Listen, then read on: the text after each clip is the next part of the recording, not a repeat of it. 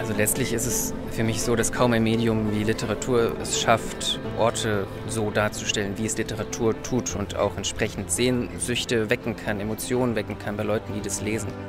Also man kann, glaube ich, in fast keiner anderen Kunstform so sehr in den Kopf von jemandem reinschauen oder das zumindest inszenieren im Schreiben und dadurch ähm, eine ganze Erfahrungswelt vermitteln. Ja, für mich ist es natürlich die Königsdisziplin. Ich bin mir aber sicher, Musiker würden vielleicht was anderes sagen, bildende Künstlerinnen würden was anderes sagen. Aber für mich schon, für mich auf jeden Fall. Willkommen in Berlin. Willkommen bei Berlin Unboxed, dem Visit Berlin Podcast mit neuen Perspektiven auf die Stadt. Was ist es, das Berlin zu einer Stadt der Literatur macht und gleichzeitig zum Sehnsuchtsort vieler Schriftstellerinnen und Schriftsteller?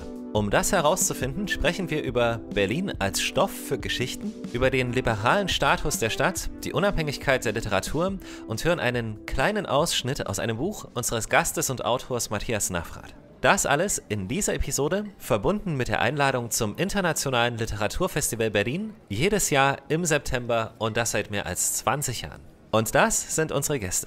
Äh, mein Name ist Matthias Navrat.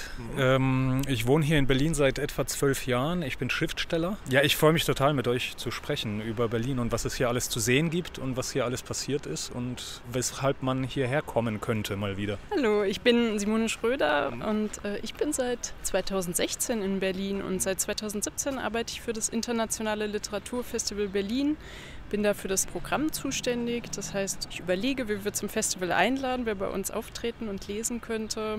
Ich überlege auch, was für Themenschwerpunkte wir setzen könnten, zusammen mit meinen Kolleginnen und Kollegen aus dem Team. Und ähm, freue mich sehr, dass wir heute miteinander über die Literaturstadt Berlin sprechen. Das Festival ist, glaube ich, ein wichtiger Bestandteil davon.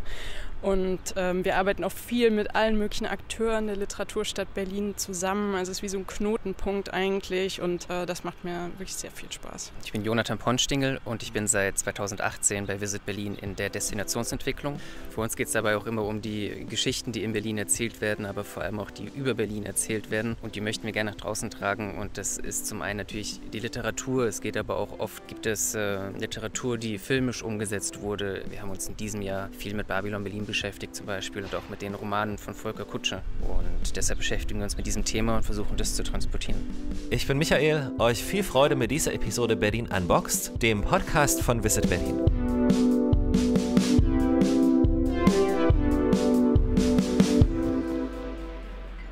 Wo trifft man sich, wenn man über Literatur in Berlin reden möchte? Es gibt offen gesagt so viele Möglichkeiten.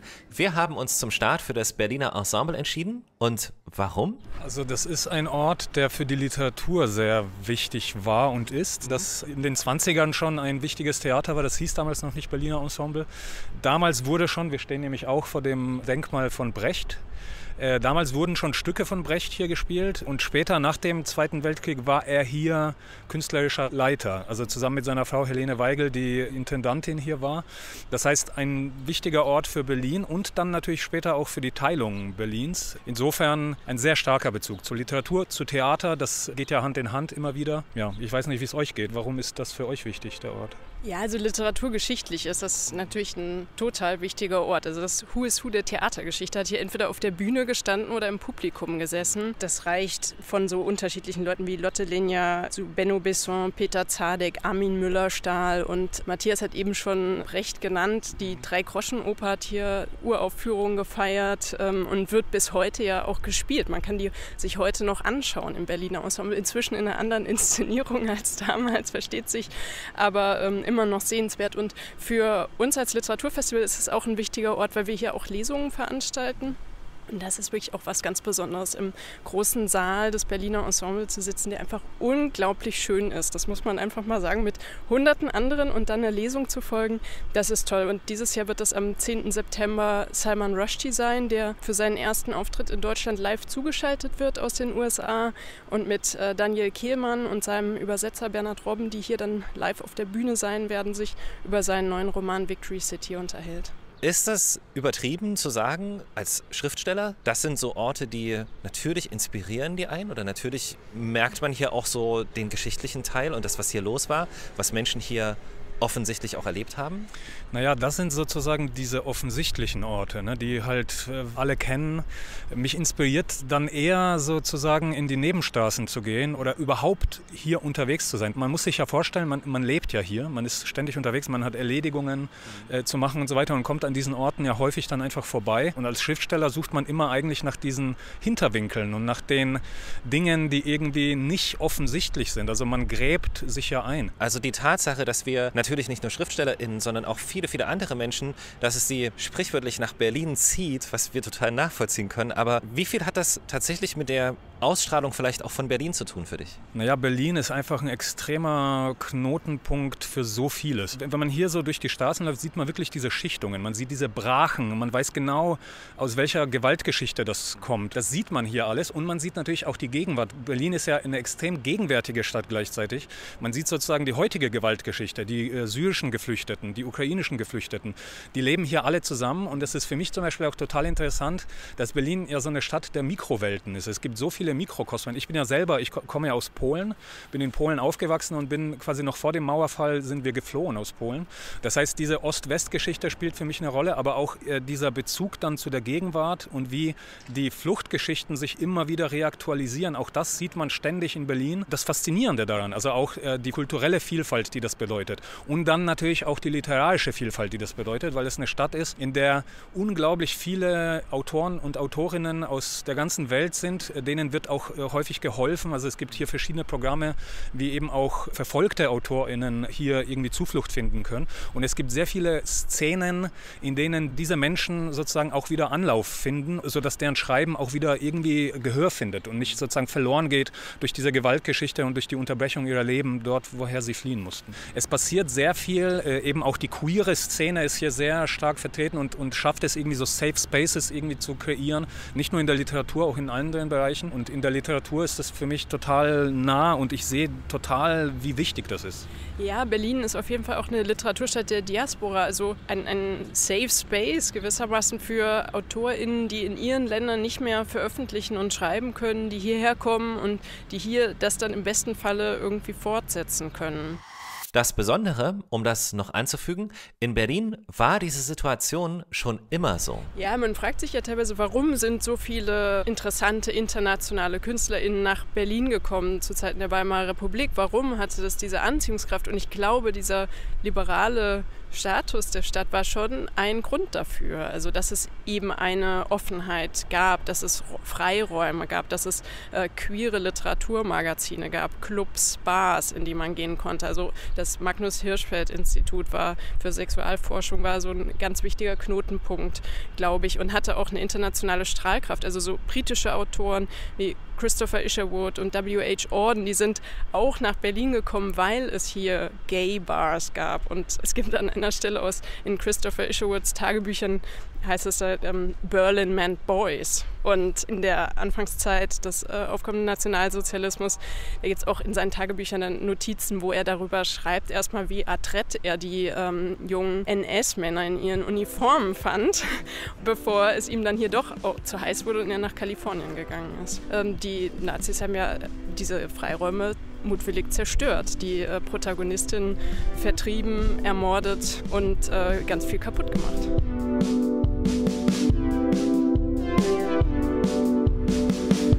Wir wollen jetzt mal einen Blick aufs internationale Literaturfestival in Berlin werfen und damit auf besondere, auch ungewöhnliche Orte, in jedem Jahr wechselnde Orte, an denen gelesen und Literatur erlebt wird. Ja, also zur Einstimmung auf das Festival findet traditionell immer am Sonntag vor Festivalbeginn eine kollektive Literaturperformance in ganz Berlin statt. Das heißt, Berlin liest. Da kann wirklich jede und jeder sich beteiligen und entweder selbstgewählte Texte vorlesen oder auch äh, etwas von den den Büchern unserer Gäste, die wir vorschlagen dafür.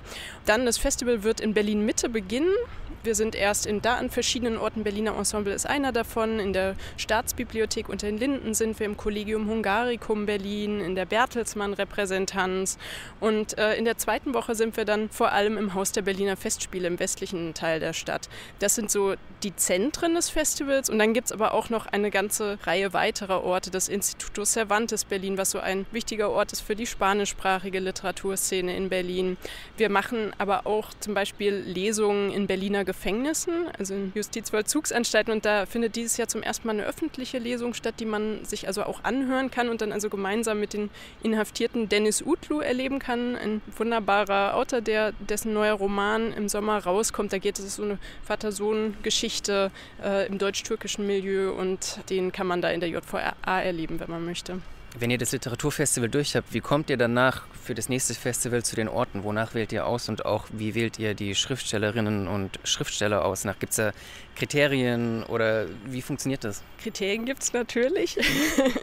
also die, zum einen die, die Säle müssen eine gewisse Größe haben, das ist wichtig. Also wir brauchen einfach einen Saal, auch in den 700 oder 1000 Personen reinpassen. Wir haben in diesem Jahr die Orte ein bisschen reduziert. Also wir waren auch schon, es gab mal den Versuch, in allen Stadtteilen was zu machen zum Beispiel, was auch toll ist, aber organisatorisch ein Riesenaufwand und teilweise auch fürs Publikum dann ein bisschen schwer von sich zu orientieren dabei.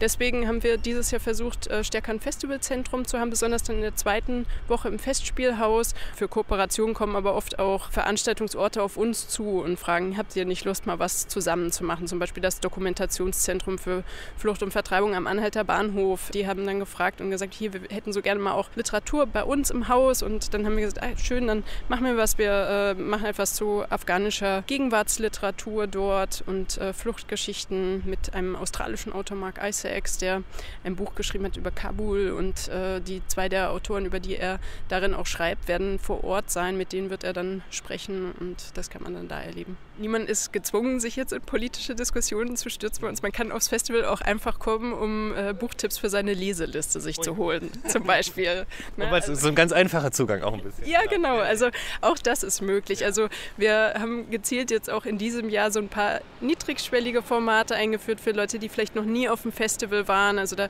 wird es Book Talks zum Beispiel geben. Wir haben im Haus der Berliner Festspiele eine ILB Library eingerichtet mit den Büchern der Auftretenden. Da kann man sich hinsetzen, einfach ein bisschen schmökern und da werden dann AutorInnen, die beim Festival auftreten, kurz über äh, Buchtipps aussprechen und Bücher, die ihnen besonders am Herzen liegen. Und äh, das sind kostenlose Veranstaltungen. Also da kann man, da findet eigentlich jeden Tag was statt. Wenn man noch nie da war, einfach mal vorbeikommen und sich reinsetzen.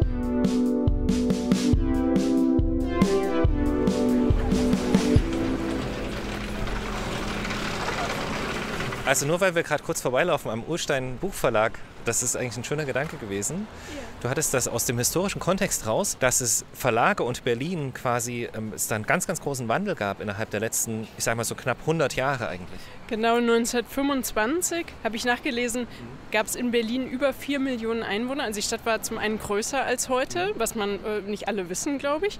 Und, ähm, aber auch die Literaturszene war größer. Also es gab in Berlin 928 Verlage und 1879 Buchhandlungen.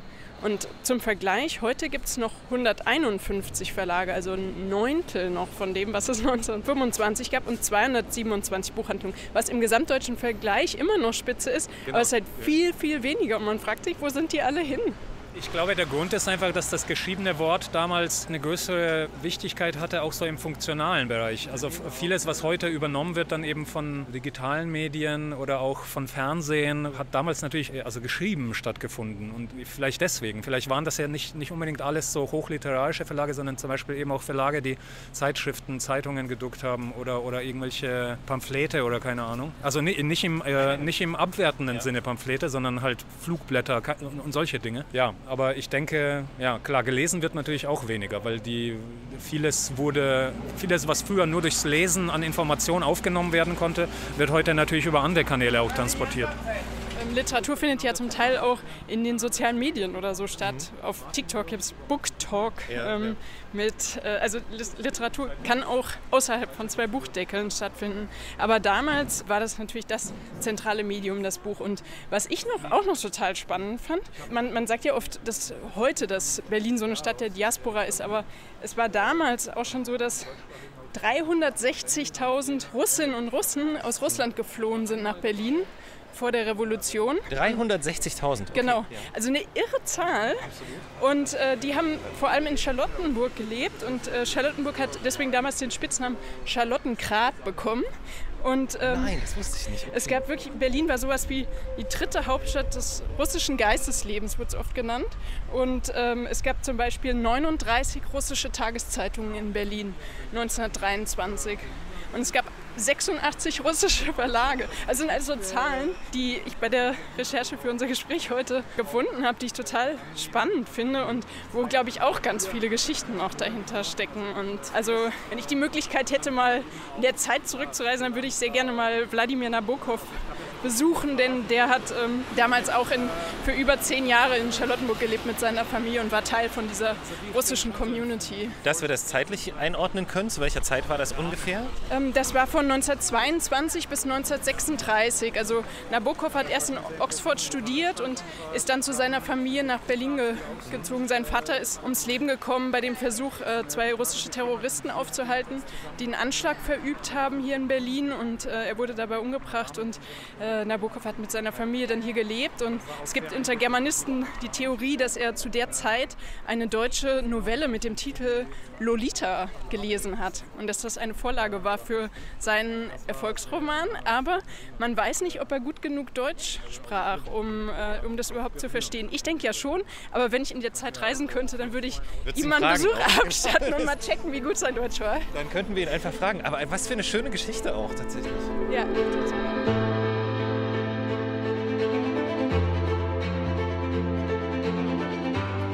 Durch den Trubel der Stadt geht's für uns zum Dorotheenstädtischen Friedhof und damit zur letzten Station auf unserer literarischen Reise durch Berlin. Einer der bekanntesten Friedhöfe Berlins, ein ganz besonderer Ort und Ruhestätte vieler berühmter KünstlerInnen und Persönlichkeiten. Ja, also was jetzt so bekannte Persönlichkeiten anbelangt und jetzt im Besonderen aus der Literatur, da ist sicher Christa Wolf und Anna Segers sind da zu nennen. Brecht natürlich und Helene Weigel, also Brechts Frau, die ja auch eine bekannte Künstlerin war. Von so jüngeren Generationen sicher Heiner Müller ist da zu nennen, der auch ein äh, interessantes Grab hat, weil er hat sehr viel geraucht, er war ein Kettenraucher und äh, neben seinem Grab steht jetzt so eine Vogeltanke, die in, in Form eines Aschenbechers äh, gestaltet ist. Und vielleicht die, die Person, die jetzt von den bekannteren Schriftstellern der jüngsten Zeitgeschichte hier begraben liegt, ist Wolfgang Herrndorf, also der Autor von Sand und von Schick. Ja, wir stehen hier vor dem Grab von Thomas Brasch, das würde ich vielleicht auch erwähnen, also einer der ganz wichtigen Lyriker der DDR-Zeit und ähm, der immer kritisch seinem eigenen Land gegenüberstand, aber sich auch mit dem Westen, also oder sich vom Westen auch nicht hat vereinnahmen lassen wollen. Und das ist ein besonders schönes Grab, finde ich. Die Skulptur hat äh, der Bildhauer Alexander Polzin gestaltet. Einfach ein ganz schöner, friedlicher Ort, finde ich. Ich bin hier immer gerne hergekommen, als unser Büro noch gegenüber war in der Mittagspause. Man kann hier auch gut Vögel beobachten, zum Beispiel Grünspechte habe ich oft hier schon gesehen. Und ähm, abends kann man hier um die Ecke, wenn einem mehr nach lebendiger Literatur ist, auch Lesungen erleben, nämlich im Literaturforum im Brechthaus, was vorne ist. Das ist eines der fünf staatlich geförderten Literaturhäuser. Die machen hochkarätiges Veranstaltungsprogramm, einer der wichtigen Literaturorte hier in Berlin. Ist das das erste Buch, was wir rausfinden während des Podcasts? Eigentlich für Zeit, sag ich mal. Äh, genau, ich lese eine ganz kurze Passage aus meinem Roman Der traurige Gast. Das ist ein Roman über Berlin als Transitraum, könnte man sagen. Also für sehr viele Biografien, die eben Biografien von Ausgewanderten sind, die in diese Stadt kommen und die sich mal besser, mal schlechter hier wieder verwurzeln. Mhm. Und äh, diese Passage, die ich aber lese, die ist so mitten aus dem Buch gegriffen und die zeigt jetzt auch vielleicht nochmal so einen ganz anderen Aspekt von Berlin, den ich auch sehr literarisch oder sehr poetisch finde, immer wieder, wenn ich das so erlebe, irgendwie hier in Berlin. Äh, dieses kleine Kapitel heißt Sommer. Die Hitze war noch nicht da, aber es war warm geworden. Es war nun zu spüren, wie weit im Norden wir waren. Bis kurz vor Mitternacht war es taghell und schon ab halb vier Uhr war über den Dächern im Osten wieder ein türkiser Schimmer zu sehen. Ich hatte mein Fahrrad reparieren lassen. Ich fuhr damit am liebsten nachts herum, wenn die Straßen leer waren. Einmal fuhr ich zum Potsdamer Platz. Die Lichter der Wolkenkratzer um das Sony Center beleuchteten die Stille der nächtlichen Stadt. Ich fuhr zwischen den Wohnblöcken herum, niemand außer mir war auf der Straße, kein Auto fuhr, es war warm. Ich erreichte den Anhalter Bahnhof und bog nach rechts Richtung Kanal. Unter der verrosteten Brücke der U1 blieb ich stehen und hörte ein paar Minuten lang dem Flöten einer Nachtigall zu, die irgendwo in einer der letzten Brachen der Stadt verborgen auf einem Ast saß und in die Stadt, in die Leere und Stille der Nacht hineinsang.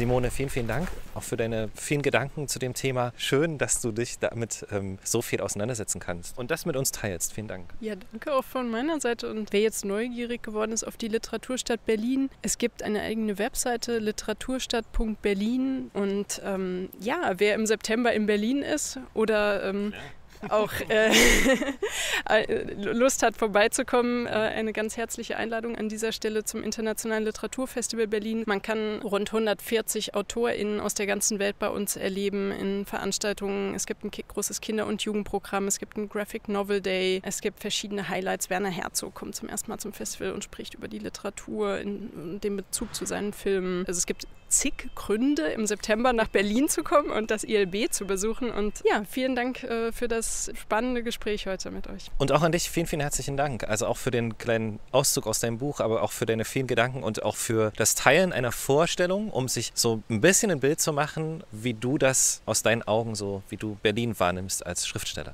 Ja, vielen Dank, dass ich zum Gespräch eingeladen wurde. Das hat mir wirklich sehr viel Spaß gemacht. Ich glaube, ich habe auch viel Neues gelernt. Jonathan, an dich auch vielen, vielen Dank. Ja, danke dir. Es war sehr, sehr schön. Cool. Berlin Unboxed, der Visit Berlin Podcast. Auf Spotify, Google Podcast, Apple Podcast oder dieser. Folgt uns auf Instagram, Facebook oder YouTube und entdeckt Berlin mit der About Berlin App, dem digitalen Stadtführer für Berlin-Geschichte. Alle Infos auch auf visitberlin.de.